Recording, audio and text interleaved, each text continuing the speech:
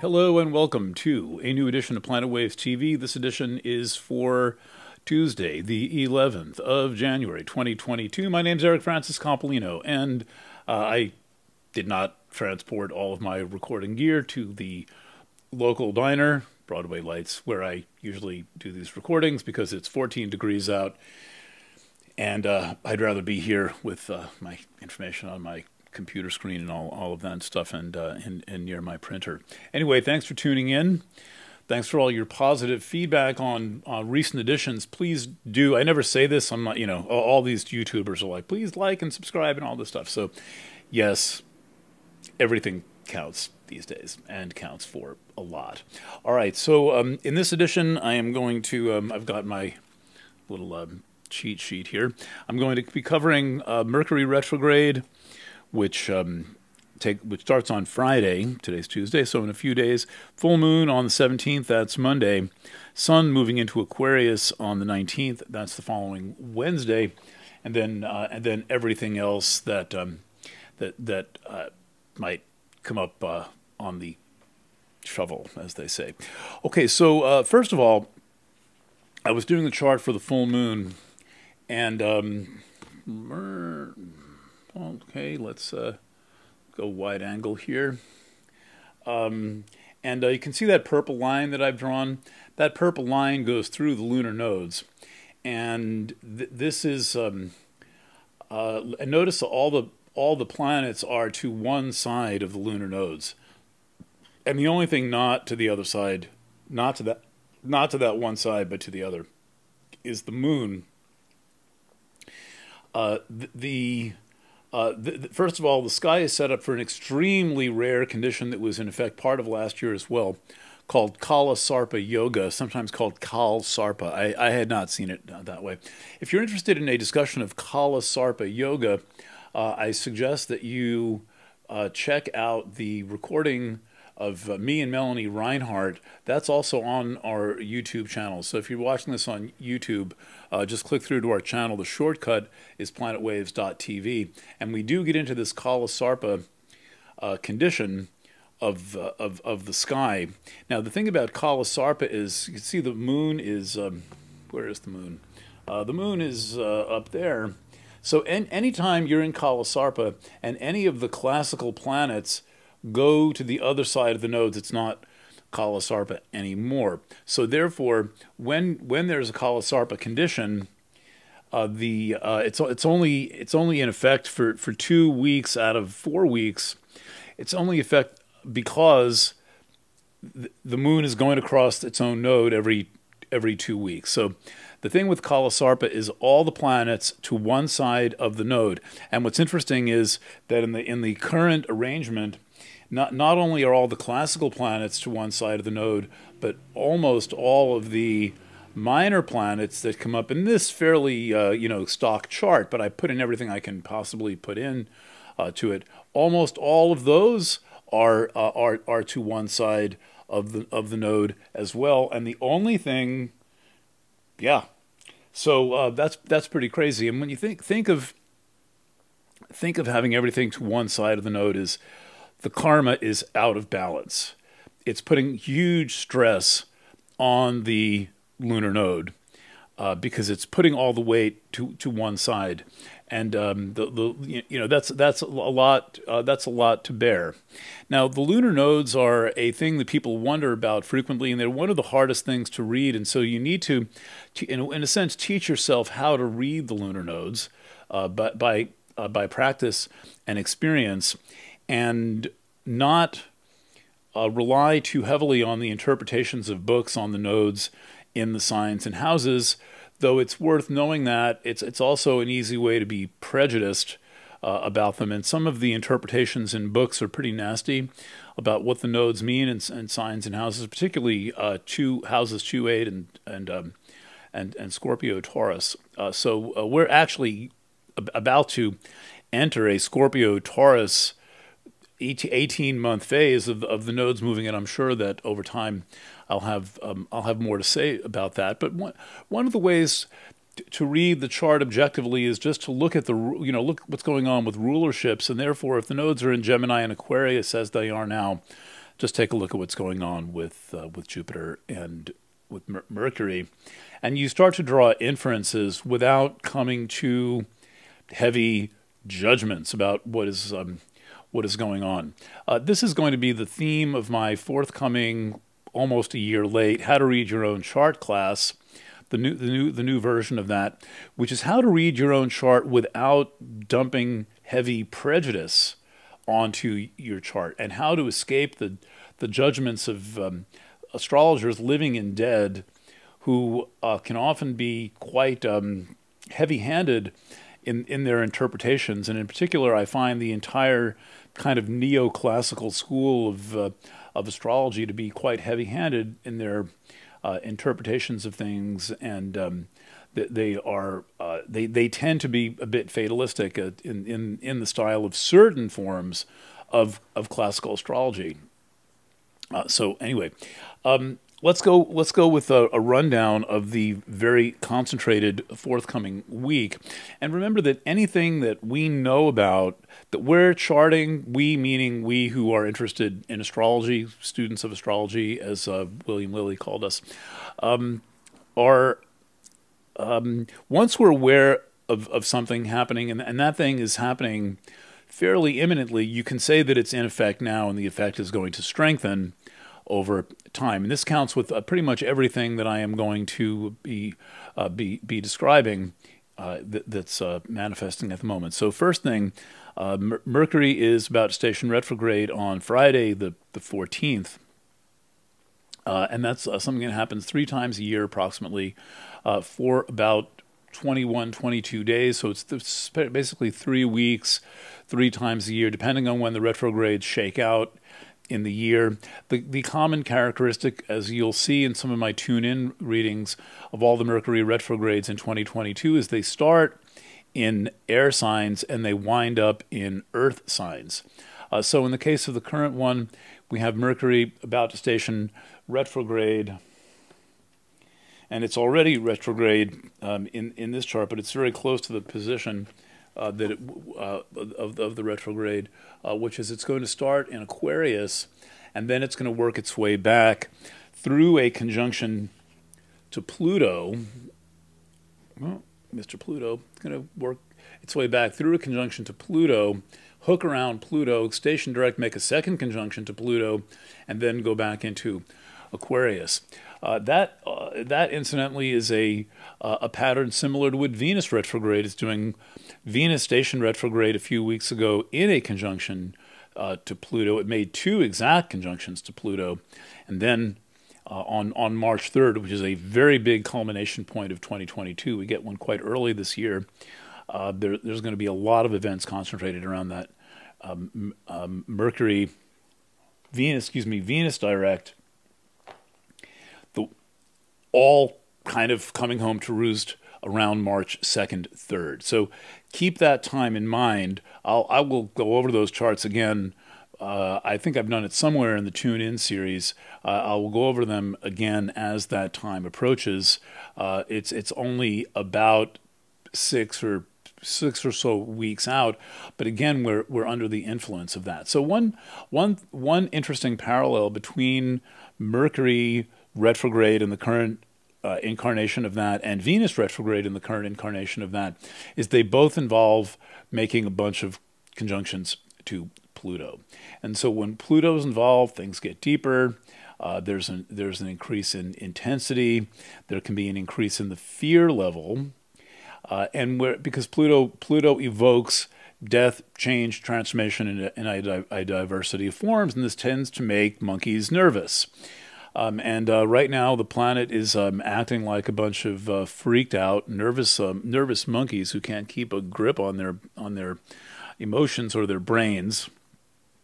You, you, you know, people believe in evolution, but really, most humans are just monkeys running around with clothes on. So, the, the proof proof that the theory of evolution is not true is how little evolution there seems to be. Okay, so these these these conjunctions to Pluto uh, are uh, in, they're intensifying. They Uh, they are they are demanding a revision of thought and emotion and uh, of, of some kind because when you put Venus conjunct Pluto, you get this kind of death and resurrection of the the Venusian principle. It's also deep and, and lusty and uh, and challenging in that respect.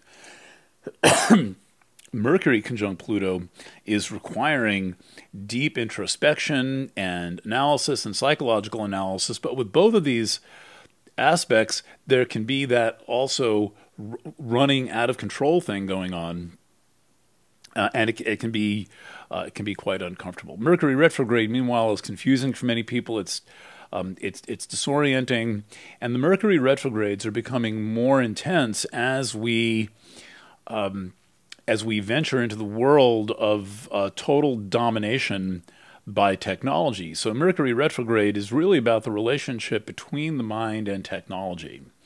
Um, if you know anyone wondering why, uh, you know, you you you could ascribe your computer or disk drive crashing to Mercury retrograde, and then also ascribe um, a, a, check. Nobody writes checks except Planet Waves anymore, but um, and we write a few too many. But uh, to losing a check in a magazine, right? It comes in the mail, and you expecting the check to come from wherever. This is a typical thing that would happen with Mercury retrograde. And then you have to get a new check, and it delays everything. And then six months later, you flip open the back of um, some magazine, and it's stuck in there. Okay, so how does it, what does that have in common with like your car breaking? Well, the thing that has in common is consciousness. The thing it has in common is the mind. And the, the, the, without the mind without consciousness without sentience there is no astrology. There is no technology. There is no anything.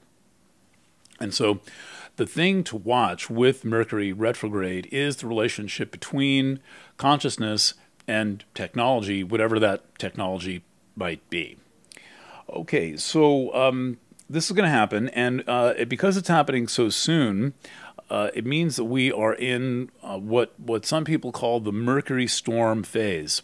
So the um, the, Mer- the Mer- Mercury storm phase is when Mercury is moving under a certain number of, uh, of of degrees a day, and right now Mercury is less than one degree from the place where it's going to station retrograde. We're definitely in Mercury storm phase. That uh, that term was popularized by Jim Shawvan, and when I asked him about it, uh, he said he, he he got it somewhere else, but he doesn't remember where, and nobody else remembers where. So, at least I, I went back to the pl- place, uh, back to the person who popularized popularized it. A wonderful uh, astrologer, I believe, is no longer living, and he was one of those guys who was just a, a really good friend of um, of me and of, of Planet Waves, and um, we, you know we we often saw things in a similar enough way to be able to communicate, but in a different enough way to make it interesting.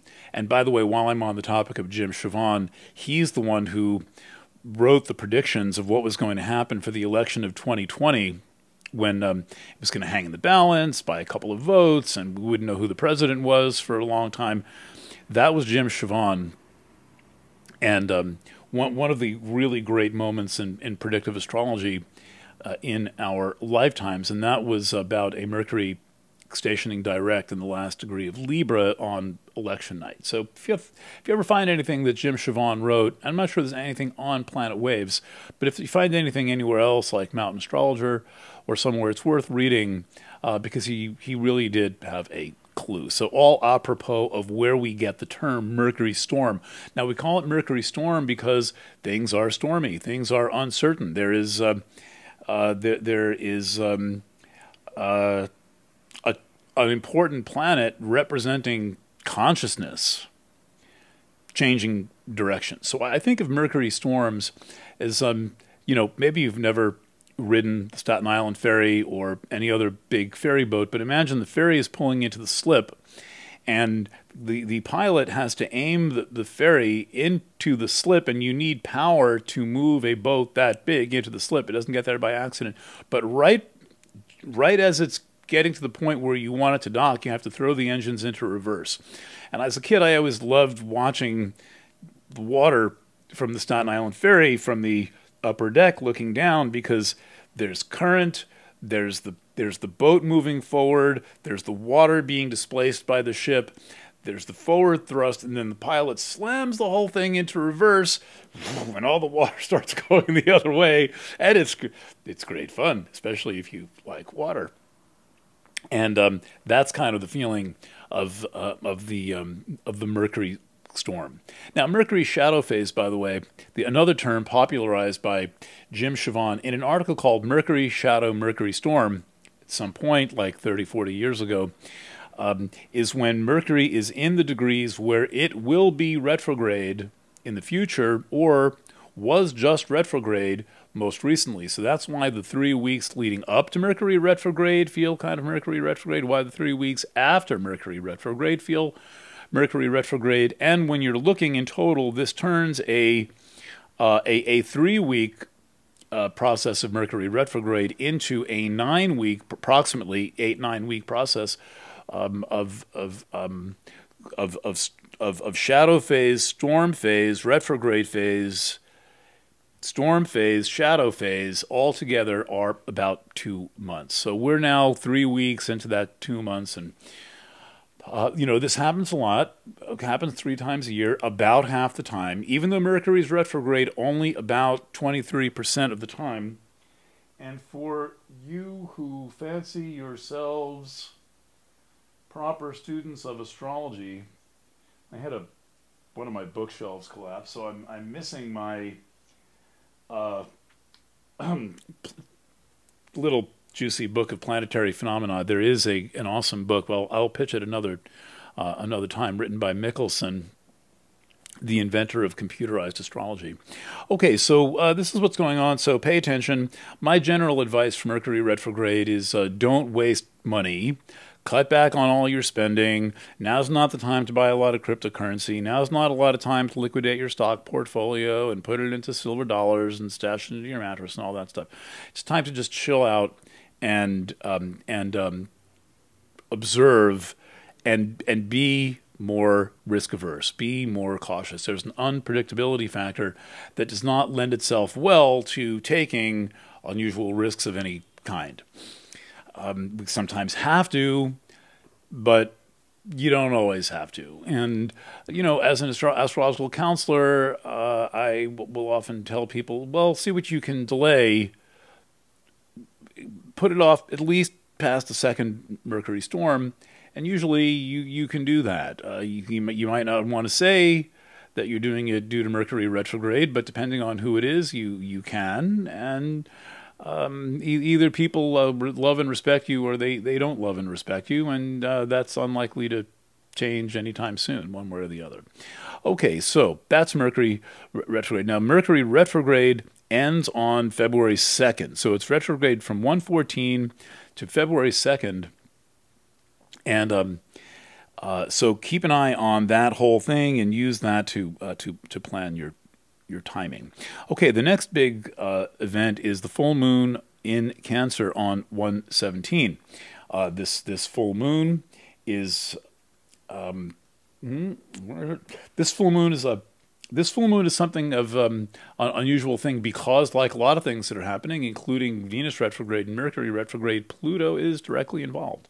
Pluto is directly involved in the form of the Sun being in a conjunction to Pluto right there, right at the time of the full moon. The moon is way over there. See, that's the only thing on the other side, just about of Kala Sarpa Yoga. So the, so the the it's a Sun Pluto conjunction. Then there's going to be a moon opposition. I hope you can see that. Can you? Yeah, there you go. To the to to the um, to the Sun Pluto conjunction. So once again, all the things that Pluto does, it it makes more intense, it brings in a transformational factor, it pushes things to the edge, and most of all, it demands growth. The problem in our society right now is that there are a lot of people who refuse to grow.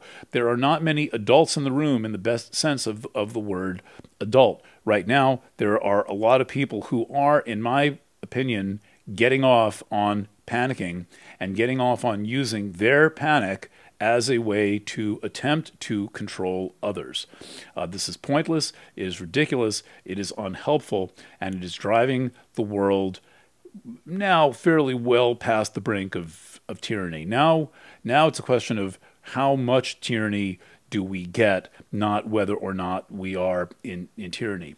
And we're going to get we're going to get as much uh, tyranny as we have fear. To be free, uh, to, to be independent of external authority, you have to, first of all, be responsible. And second of all, you have to be courageous. And you have to be willing to work for, for the, the freedom that you want. So the people who are willing to give up their freedoms for a little safety, who deserve neither, in the words of Ben Franklin, uh, are, are tend to be lazy. Uh, they, they're not interested in thinking for themselves. Uh, they, they are not interested in challenging any narratives. And it doesn't help that certain social platforms are censoring things left, right, and center. Um, I'm planning on uh, doing a um, interpretive reading of the rules of this particular social platform for covering the particular issues that we know get people in trouble. And and if, if I read these rules, it would probably take me half an hour to read them out loud. There are so many rules, and so uh, this is an example of authority being ex- externalized and people in a sense, risking their fortune for telling the truth. Why do we? Why do we put up with this? And and I don't mean why do we put up with it. I mean why do we, not maybe you or me, throw rocks at people who are interested in finding out uh, what what lays underneath a claim or a statement of someone. So this is all by way of saying that now Venus, then Mercury, and then the Sun and the Moon are all going to be doing big things in a conjunction or opposition to Pluto, and that is saying growth. That is saying deal with it. It's saying get real. It's saying be truthful. It is saying get to the bottom line with yourself. It, it's saying uh, don't deceive yourself. I mean the pro- problem with uh, the, the, the problem with deception is that in the in the first instance it's about self deception. Which brings me to another topic.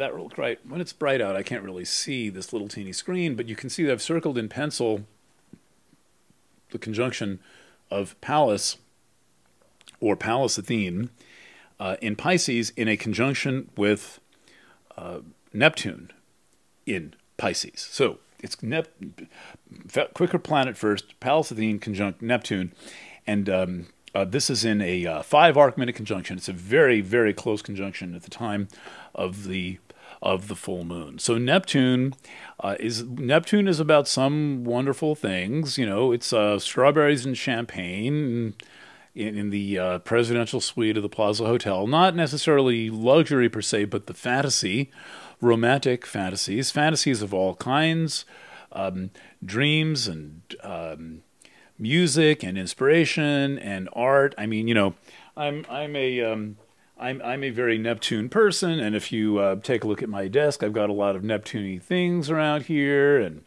uh, I've got my all my art supplies, and uh, I'm I'm not sure that I can. Here, let's let's let's try this. So I'm a very Neptune person, uh, hopefully in the most positive sense of that. But if you look in my uh, living room, you'll see, look at all those guitars. And then, then I like to, you know, smoke a little weed and play the guitar, and I wear pink glasses and soft warm colors, etc., etc., etc. That's one side of Neptune. The other side of Neptune is delusion, addiction, um, uncon- unconsciousness, um, uh, lapse of attention, believing your own press release, uh, denial. So it's D, a lot of D words: drink, drugs, delusion, denial, deception. You could go on and on with with the D words. When when when Pallas Athene, the goddess of law and politics, is conjunct Neptune, which it is, well, we then apply all the drink, drugs, delusion, denial, deception to Pallas Athene, which is the asteroid of the very sigil of pow- power and law and government in the official structured sense of, of those concepts. And so we are experiencing incredible amounts of deception and delusion uh, as a result of uh, this this world condition, which is being taken advantage of by world leaders to mess with you. Now, I, I realize there's people who think that, uh, well, no, they really are good. And uh, Tony Fauci, he's a, here, I'm doing this. Tony Fauci, he's a pediatrician. He loves babies. Yeah, you know what he loves about babies? To inject them. And, um, and oh, oh well, mass grave. Uh, unless we get real about these bottom line facts of life uh, that, that are extant right now, we're not, uh, we're not, we're not going to get anywhere. And so, uh, Pallas conjunct Neptune is saying, you might want to, um, you know, I think, how, how did Shakespeare say it? How do I lie to thee? Let me count the ways, says the United States Center for Disease Control, or the Environmental Protection Agency, or the National Institute for Allergy and Infectious Diseases.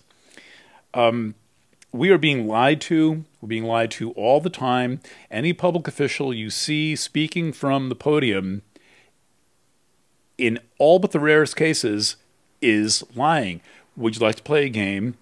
Email me a statement by a public official to efc at ericfrancis.com. That's a good one for this. Uh, and I will and and put a subject header. Is this person lying? And I'll write back and explain to you how they're lying. But you have to be gutsy for this. You have to have knowledge. You have to not only read, but read critically, read comparatively, work from experience, confirm against your senses, and not be lost in your own head trip of delusion, drink, drug, denial, deception, delusion, which is the, the nature of, of Neptune. And, and it's, um, you know, all, all of this makes me more nervous than I'm letting on.